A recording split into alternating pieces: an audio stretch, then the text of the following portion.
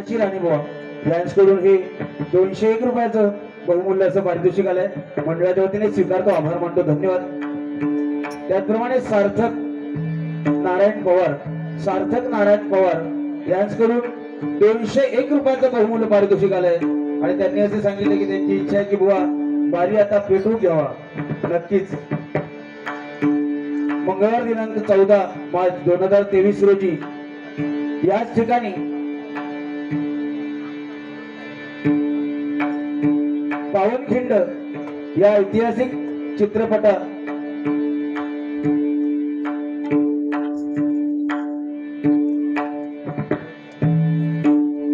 चौदा मार्च रोजी याच ठिकाणी पावनखिंड हा ऐतिहासिक चित्रपट दाखविण्यात येणार आहे. तरी याची सर्वांनी नोंद घ्यायची आहे. पावनखिंड चित्रपट बाजीप्रभू यांच्या जीवनशैलीवर आधारित. सर्वांनी या चित्रपटाचा लाभ घ्यायचा आहे झाला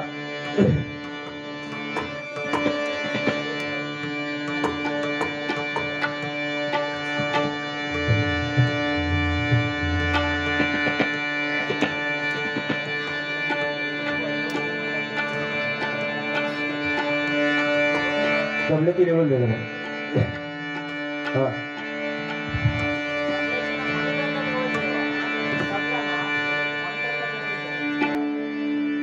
अतिशय सुंदर सुरुवात बुवा आपण केलात. भजनाला साजेस तुमच्या नावाला बुवा साजेस भजन या ठिकाणी आपण अतिशय सुंदर बावीस मात्र ना जबरदस्त. पण डबल वारी म्हटलं की बुवा बारा रंग हे दिसलेच पाहिजे नाही का? आणि सुरुवातीक बुवा माझ्यातही लल्लाटीत असा नाही की मी पहिली वारी तर चालू केलंय. आपण होऊन अंगार जायचं नाही गाडिया तुका नारळाची कवड हवी. नारळाचा वळा म्हणता. हा. खरं हो कारण गुरवणी गाडी. ही आता आमच्या नावान दगड फुटीत असतील. तेव्हा शपथ त्यांना कायच गावत नाही अजून हा तू चालू राहू जरा. लाजो नको असू.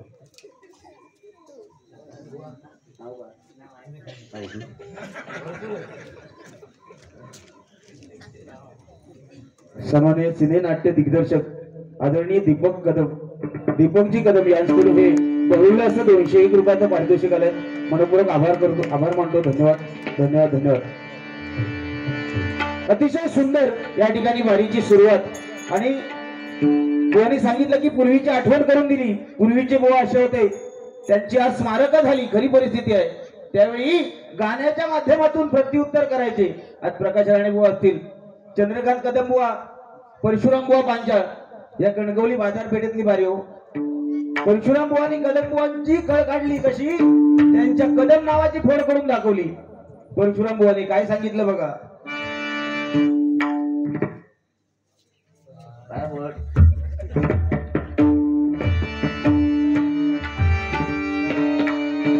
काय सांगितलं बघा त्यावेळी? परशुराम बुवानी कदम नावाची फोड काय केली बघा?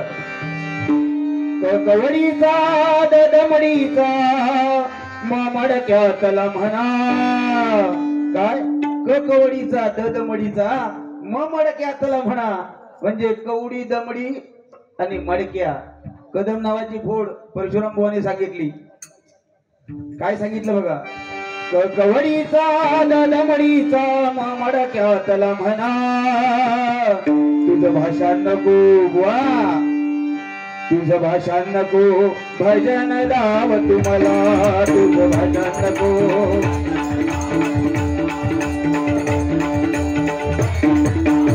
बघा काय सांगितलं? कवडी लक्ष्मी. कवडीचा ददमडीचा म मडक्याचा मला मा. आणि तुमचं भाषण नको. भजन गाव मला.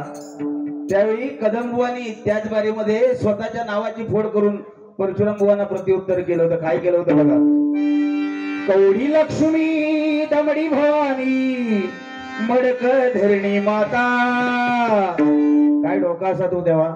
जाग्याच्या जाग्यावर गाणी लिहून. आपण विचारच करू शकत नाही. कौरी लक्ष्मी दमणी भवानी मडक धरणी माता बन कर आता तू बन कर आता तुझी सुताची गाथा.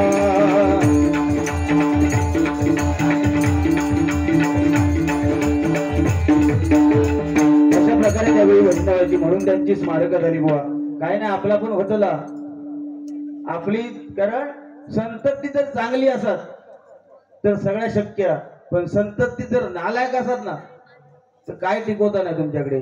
त्यामुळे संतती आपली चांगली हवी. आणि संतती होसाठी आधी कार्य हो बाबा. काय पवार बुवा? पटत ना विषय. खरोखर संजय पवार बुवांसाठी जोरदार काय? कारण नुसतं गावदेवी प्रासादिक भजन मंडळ नाही तो माणूस चालू होता. आज त्यांच्या गावात त्यांची खरी परिस्थिती बुवा. मी तुम्हाला सांगतो कारण भजन हा बुवा त्यांनी आजपर्यंत हे जे आता हातात काय ना काय दिसतात त्यांच्या. माझं लय डोळा त्याच्यावर. माका सांगितलं ते माणूस शब्द पाडणारच नाही. माका म्हटलं बुवा थोडे वर्ष थांबा. पण भजन क्षेत्र सोडलं भजनाला व्यवसाय नाही केला त्या माणसाने आजपर्यंत. म्हणून परमेश्वराची कृपा त्याच्या त्यांच्यावरती आहे सदैव. आणि दुसरी गोष्ट म्हणजे अडीनडी जगात प्रसंगात पहिलो धावत मानारो संपूर्ण भजन क्षेत्रात सांगतोय. संपूर्ण महाराष्ट्र भजन क्षेत्रामध्ये अडीनडी जो गरजे गरजवंत असता जे का औषधासाठी काय मदत हवी असता कोणाक शाळेसाठी काय मदत हवी असता पहिलो हात पुढे करणारा माणूस म्हणजे संजय पवार बुवा. परत पैसे देत की नाही त्याचा विचार नाही करणार. पण हे आधी घे आणि तुझा काम भागव. अशी व्यक्ती त्या कारण म्हणून पुत्र भावा ऐसा गुंडा त्याचा तिन्ही लोकी झेंडा. पुत्र भावा ऐसा गुंडा गुंडन होय. आणि तुमची ओळख करून दिली भले भले वाघ जवळ होत नाही. त्यामध्ये काय आहे तुम्ही स्वतः आता युट्यूब वर चालू आहे बघ केवढं तुम्हाला त्यांना ते हे पडेल. भले भले वाघ म्हणजे तुमचा नक्की मनाचा काय होता? पण हरकत नाही. अतिशय सुंदर या ठिकाणी. भजन. आणि शेवटी बुवा हे नामस्मरण. नामस्मरणाशिवाय दुसरा पर्याय नाही बुवा. अजामेळा. अजामेळाचा उद्धार केला. उगाच नाही. कारण अजामेळासारखा सद्गृहस्थ कोण नव्हता? पण तो सद्गृहस्थ पहिला व्यापार करायचा गावोगावी जाऊन. लोकांचं पुण्याचं काम करायचा. पण मध्येच त्याला दुर्बुद्धी सुटली. आणि शेवटी वाल्या कोळी जसा संवार करायचा लुटमार करायचा तशी त्याला सवय लागली. पण त्या अजामेळाचा उद्धार केला कसा बघा? कारण रात्री तो आपलं काम करायला जायचा येणारा जाणारा वाट सोडून ना मारायचा त्यांच्या अंगावरचे अलंकार काढून घ्यायचा. आणि दिवसभरी लोकी दिवस झोपून काढायचो. त्याला बाबा त्या वाटेन एक दहा पंधरा ऋषी जात होते. ऋषी जात होते. ऋषींना दुपारच्या वेळी भूक लागली. तर सर एका कोणात तरी बाबा हे अन्न खय गावात? ते एका वाडीतल्या माणसाने त्या अजामेळ्याच्या घराकडे घालून सोडला. होय उभो राहू. तुमका जेवण घाली पण बिचारा तो अजामेळा झोपला होता त्याची बायको आतमध्ये होती. बायकोने बघितलं ऋषी आपल्या घरात आले. त्यांना अन्न पाहिजे. पण ऋषींका सांगितलं? आवाज अजिबात करायचो नाही. गप वाढीन खायचा आणि हात धुवायचा आणि पळायचा इथून. माझं घोम जर उठलो तर एक पण तुम्ही शिल्लक राहतच नाही. पण तिने बाप त्या बाईने स्त्रीने त्या ऋषींना जेवण बनवून घायगडबडीत घातलं. पुढे जेवण ठेवलं पण त्या पंधरा ऋषींमध्ये एक असा ऋषी मुख्य त्यांचो. तो म्हणालो अरे या स्त्रीने एवढं आपल्यावर संकट पेलून आम्हाला जेवण घातलंय. तिला काहीतरी आपण वर दिला पाहिजे होता. त्यावेळी अशी होती. त्यावेळी पोरा बिरा व्हायची बघा. अशी मंत्र टाकला की झाला पोर. होय? कोणाच्या कानात ना कोणाच्या शेंडीत ना कोणाच्या अंगठ्यात ना पोरा झालेली आहेत. आता हा त्यावेळी त्या ऋषीने तिला बोलावलं बाय पुढ्यात ये. तू आम्हाला एवढं अन्न घातलं तुला काहीतरी आम्हाला देणं लागतोय. म्हणून त्या ऋषीने काय तिच्या पदरात घातला नाही तर तुला तुझ्या या संसाराला दहा फळं लागतील. दहा फळा म्हणजे दहा पोरा. कालांतरात दहा पुरं झाली. पण त्या ऋषीने सांगितलं असतं दहावं फळ जे आहे त्या दहाव्या फळाचा दहाव्या झिलाचं नाव नारायण ठेवायचा. नऊ झाली दहावा झाला. तिका आठवला की ऋषीन सांगितलं होतं की दहाव्याचं नाव नारायण ठेवायचा. पण बापूस कुकर्मी अजामेळा त्याचा कुकर्म चालू पण शेवट जो झील झालो त्याचा नारायण ठेवला. आणि काय होता घरातल्या शेवटाक जो लहान असता त्याचे लाड लय केलेलं झालं. सगळी कामा त्या बारक्याकच सांगतात. काय हवा नको त्या बारक्यात म्हणून तो अजय मेळा नारायणा ह्या घेऊन ये. नारायणा आकडे जा. नारायणा नारायणा ह्या कर ता कर म्हणता म्हणता मुखातून त्याच्या नारायण नाम येऊ लागलं बघा. आणि ज्यावेळी तो म्हातारा झाला मरणाच्या दारात होता त्यावेळी शेवटची हात देखील नारायला मारली. नारायण निघालो. निघालो म्हटल्याबरोबर यमाचे दूध खाली इले. म्हणालो चल ह्याका नरकात नेऊया. पण यमाचे दूध ज्यावेळी खाली आले त्याबरोबर भगवान विष्णूने पण स्वतःचे दूध पाठवले. नाही म्हणालो ह्याला तुला नरकात नेता येणार नाही. ते यम म्हणतो त्याला नरकात देता येणार नाही कारण ह्याची पाप बघ काय केली ह्यानी. ह्यानी सगळ्यांची वाट लावली सगळ्यांका खाट दिला. ह्याची पाप बघा. पण त्यावेळी विष्णुदेव काय म्हणतायत? अरे ती पाप जरी केली तेवढी शेवटी उतार वयामध्ये त्याने नारायण नारायण माझ्या नारायण नावाचा जप केलाय. आणि शेवटी मरताना मुखामध्ये नारायण नाव आलं. त्यामुळे त्या अजामळ्याला सरळ उचलला आणि विष्णू वैकुंठात घेऊन गेला. असा तो त्या अजामळ्याचा नामस्मरणाने नकळत नामस्मरण झालं बुवा. त्याच्यासाठी भजन पूजन करू कसं हवं असं नाही. म्हणून त्या काळाची नावा बघा. त्यावेळी नावं तशी ठेवली जायची नाही काय? पण बुवाने अतिशय सांगितलं. बुवा कळ काढलं. कळ काढूया काय हरकत नाही. कळ बिंदास काढायची. काय घाबरायचं नाही. गुरव म्हणतात देवळातलो खरी परिस्थिती आहो गुरुवा फक्त नारळ असलो नसलो तरी चालतात. गुरव गाडाना घालतो रो. गाडी आता तसा नाही हा. पाच कोंबे. त्या माहीत नाही. पण ह्याका ते कोंबडे बिमडे लागतात. आपल्यात तशी गोष्ट नाही. आणि काय या घाडियाचा आणि बुवा काय त्याच्यात ठेवलेलं नाही शिल्लक? का लक्षात ठेवा. ह्या सगळं वाटून दिलेलं आहे तुमचं नारळ हवं की त्या मी तुमच्याकडे कोंबडा मागतोय. ओ विषारी कोण आहे? विषारी आपण म्हणतो विंचू विषारी नाही का? पण खाली जर विंचू चालत असताना एखाद्या पालीन बघितला तर ती पाली चटकन येताना त्या विंचवा खाता म्हणजे विंचवाचा विष पचवण्याची ताकद कोणात? तर त्या पालीत. नाही काय? पाल जर ती जड पोटान भिंत चढत असत आणि पाय घासरान जर पडली खाली आणि एखाद्या जर कोंबड्यान बघितला तर कोंबडा येताना चटकन ती पाल उचलता.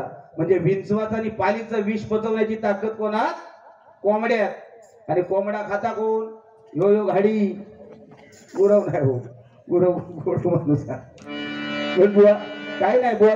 अशी जोकबाजी बुवा भरपूर झाली. काय गरज नाही. लोकांना चांगला आता मग अशी ती म्हातारी हसतात. एकटीत तिका टाकलाच की समजत नाही. म्हातारी अंगामिंगात नाही येत. हो पूर्वीचा सोना हो खरंच. तुमका सांगता आता बघा ती बसली आहे एकटी या. म्हणजे आमची आऊस पण अशीच बसायची. हो त्यावेळी पडद्यावर पिक्चर लागायचे. नाही मग आम्ही चार वाटाने बिटाने चने चणे बिणे भाजून अगदी तव्यावर. आम्ही पहिले चादर बिदर गोदडी बिदरी वनपाटा टाकून ते बसायचे. ते दिवस आठवले. आऊस आमची दिसता समोर नाही काय? भला मोठा कुंकुवा बघा कपाळावर तुम्ही हसताच काय? आता टिकले लावतात. हा पायात चप्पल तुमच्या अडीच हजाराची आणि टिकली आटाण्याची कपाळा राहता काय हो? हा बाथरूमात जाता सौभाग्यवती भाऊ थंय चिकाटलो. हो गम असेपर्यंत चिकाटलो. नंतर पडता तो खाली वास खाऊन मारतात हो. आरशाकडे येतास तुम्ही नाही काय? आरशाकडे येतास. अर्चक चिटकवता सौभाग्यवती भो. कधी कधी एवढे वाईट दिवस आणतात. लाईटीच्या बटनात चिटकवतात तो शॉक लागून मेलो नाही तो. जाग्यावर. काय ते का गरज नाही हो? कुंकवामध्ये एवढं सामर्थ्य विचारा. आपल्या सासूबाईला विचारा आपल्या आईला विचारा.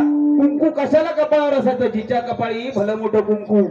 तिच्या नवऱ्याचं आयुष्य मोठं. त्याचं सामर्थ्य कारण वखवकलेल्या नजरा त्याच्याकडे बघून शर्मेन गळून पडायच्या. म्हणून आताच्या मुलींना सांगतो तुमका काम करू तर नसात करू नको. गाडी बुवा इलेली आहेत. तुमका भांडी घासूची नसतील घासू नको. करू हवा आवश्यक मदत करू हवी पण करू का नसात तुमका शाळा पुढे शिकूची नसात शिकू नको.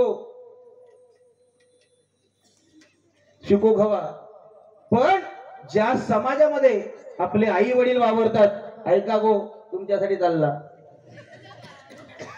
कारण ज्या समाजामध्ये आपले आई वडील वावरतात त्या समाजामध्ये आपल्या आई वडिलांची मान शर्मेने खाली जाईल असं कोणतं कृत्य आपल्या हातून करू नका असं कोणतं कृत्य आपल्या हातून करू नका. शेवटी परमेश्वर आई वडील आपले परमेश्वर आहेत नाही का? बोलणं हे होत जाणार. कारण बुवानी सांगितलं नाही माका की मी मार खालोय हळदी कुंकाच्या बायका होत्या त्यांना म्हशी म्हटलंय. हो म्हशी म्हटल्यावर कोण घबरवणारच मारणारच ना. किंवा त्या दिवशी ट्रेन मध्ये मुंबईत दिलो होतो आणि परत जायत होतो गावात. गावात येताना काय झाला गडबड? खरी परिस्थिती आहे. मी आता कसून टोप लावून सांगितलं माहीत नाही. पण मुंबईची परिस्थिती झाली. मुंबईत कशी ती? चौथ्या बाटल्या तीन सीट असलो तरी चौथ्या बाटल्या आपलं कुलो चिटकवत कोण सोडित नाही.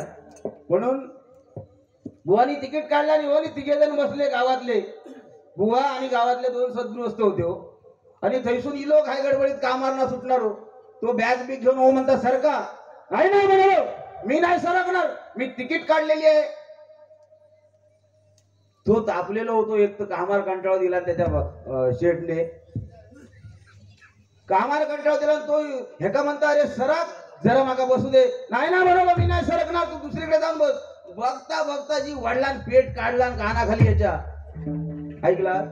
बरं बाजूक दोन गाव आले हिने काय केला? रे तू माका हात लावलं. तुझ्या जर हिंमत असत ना? तो माझ्या बाजूक जो बसलो त्याचा नुसतो हात लावून बघ. तुझा काय करता येतं बघ? तेरी धरला वडिलांनी सहा मिकन त्याच्या पण दिला नो गाववाल्याच्या.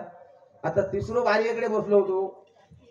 म्हटलं मी लांबसून आपलं बघतो ह्यो करता काय? स्वतः खालान तो खाला दुसऱ्या एका गाववाल्याक मार घात मार दिला फुकट. आता आणखी हो भडाकलो ए म्हणालो तुझा लय झाला. लय बघून घेतलाय तुका. तू मारत म्हणजे काय? ह्यो आता बारीकडे बसलो ना ते का नुसता वाट लावून बघ. तुझा काय करतोय येतं बघ. पण तिने धरला आणि त्याच्या पण वाढला ना हो शेवटी काय केलं? आता म्हटलं काय खरा नाही बुवा चौताळ काहीतरी करीत. गप गुलामान त्याका बसवूक दिला ते जागा. मी आपलं पुढच्या स्टेशन का उतरले बुवा म्हणालो काय तुम्ही माणसात असो हो? मी म्हणालो तुम्ही एवढं मार खालात तुम्ही खाला असतो खालात पण ते गावातले दोघे जण इले होते त्यांका बिचाऱ्यांका फुकट मार खाऊ लावला काय तुमका कळता काय? वय वय तुला लय म्हणता. ह्यो एकटो मार खाऊन जर गावात गेलं असतंय ना एकटो मार खाऊन जर कुठं स्टेशनात उतरलं असतं स्टेशनवरनाच माझी बोंबाबोंब करीत गेले असते बुवान मार खाला पण आता काय सगळ्यांनी मार खाला नाही पंचा कोण बोलवतो नाही. हे बुवा तुमचं तेवढंच. बाकी मी जास्ती काय पलीकडे बोलणार नाही. तुम्हाला कळ काढायची आहे, तुम्ही कळ काढा पण भजनाच्या माध्यमातून बुवा. बाकी काय विषय?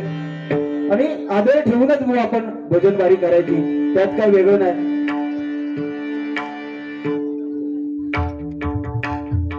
सन्मान्य गुरुनाथजी गुरु यांच्याकडून पुनश्च हे दोन एकशे एक रुपयाचं पारितोषिक आलंय. मंडळाच्या वतीने स्वीकारतो. आभार मानतो. धन्यवाद. धन्यवाद. धन्यवाद.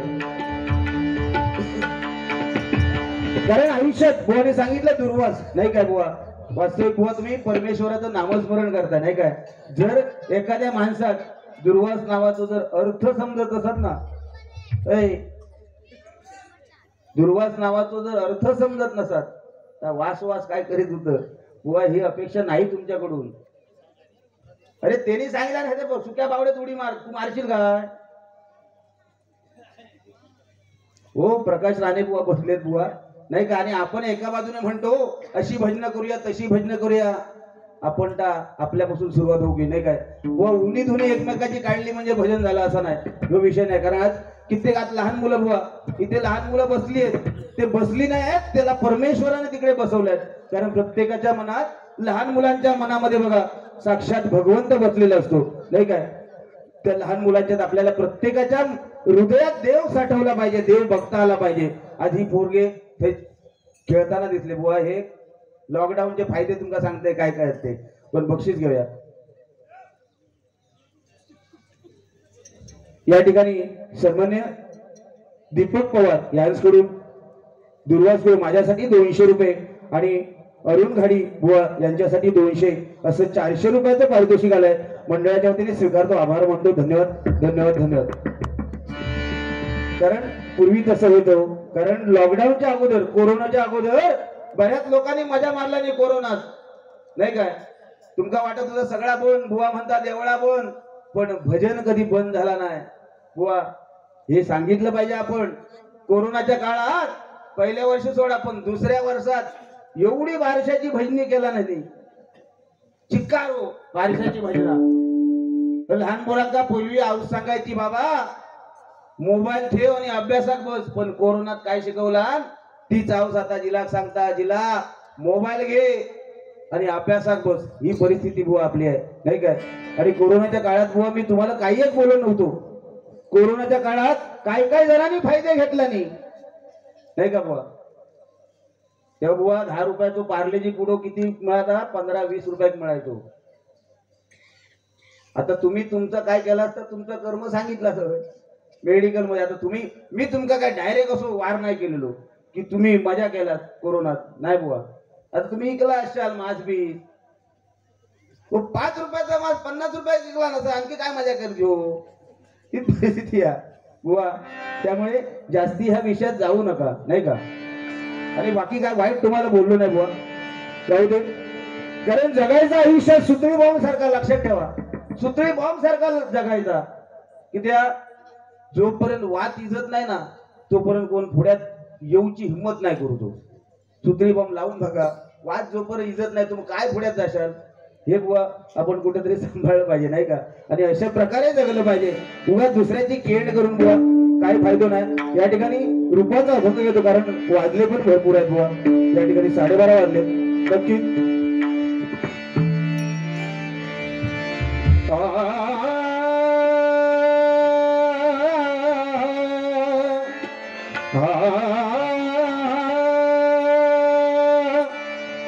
मर्मबंधात देवही मर्मबंधातली